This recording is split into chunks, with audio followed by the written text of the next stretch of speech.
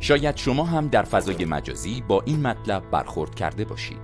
لفظ پارس را عربها برای تحقیر و توکین به ما آموختند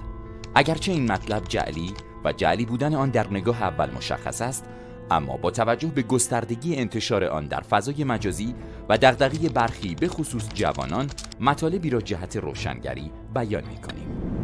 در ابتدا باید دانست که عرب اصولا حرف پ ندارند و واژه فارس معرب و عربی شده واژه پارس بوده و این خود به تنهایی دلیلی بر رد و بی اساس بودن این مطلب دارد. پارس نام یکی از مهمترین قبایل ایران باستان است که بعدها با توجه به امپراتوری عظیمی که در دوره هخامنشیان و ساسانیان از سوی این تیره از ایرانی ها بنا نهاده شد و حکومتشان کل این سرزمین را فرا گرفت به تمام ایران هم فارس اطلاق شد. شاید به جا باشد که در اینجا به سوال مهمی که شاید ذهن بسیاری از افراد را به خود مشغول کرده باشد پاسخ داده شود. چرا از سوی غیر ایرانیان و به طور مشخص اعراب ایرانیان را پارسیان یا فارسیان مینامیدند و نه ایرانیان؟ قبل از پاسخ به این سوال بیان دو نکته به عنوان مقدمه ضروری به نظر می رسد یک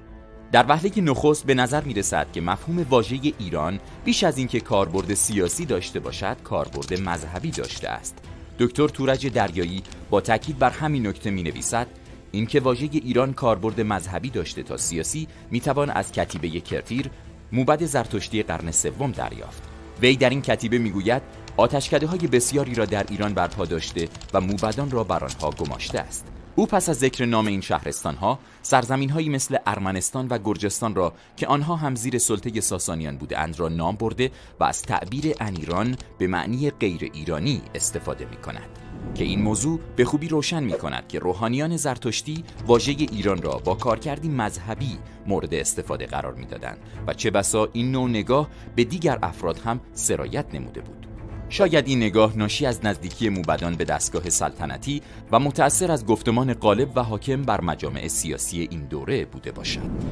دو بیش از موبدان این ساسانیان هستند که تأکید بر نام ایران شهر و ایر بودن شهروندان ایرانی دارند. ایر بودن در داخل مرزهای ایران یعنی تابعیت ایرانی که برای آن از سوی پادشاهان ساسانی چارچوب و ضوابط و قوانین خاصی تعریف شده بود. به همین دلیل آنها بر ایر بودن شهروندان ایرانی اصرار و پافشاری خاصی می کنند تا بتوانند مردم را در چارچوب های مد نظر خود سازماندهی کنند و در مقابل برای سلب حقوق شهروندی از دیگران و به خصوص مخالفین خود مثل مانویان، چینی ها و حتی اعراب لفظ انیران به معنی غیر ایرانی را به کار برند.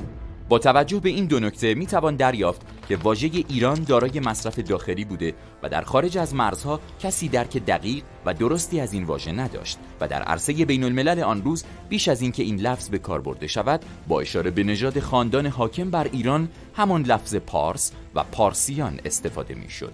بنابراین می بینیم که لفظ پارس در ابتدا توسط یونانیان که ارتباط بیشتری با ایران داشتهاند به کار برده شد. و پس از آن اعراب هم آن را معرب و عربی کرده و به عنوان فارس ذکر کردند کما اینکه در انگلیسی پرشیا و فرانسوی پرسیا عنوان شده است. این واژه ها تا همین اواخر هم در بین غیر ایرانیان در مواجهه با ایران کاربرد داشته است که در نهایت در فروردین سال 1314 پهلوی اول طی نامه‌ای به کشورهای اروپایی از آنها درخواست می کند تا در تمام اسناد حقوقی از نام ایران برای این سرزمین استفاده شود. در نتیجه این مطلب که بیان شود لفظ پارس را عربها به ما آموختند بی اساس بوده و با واقعیت های تاریخی منافات دارد.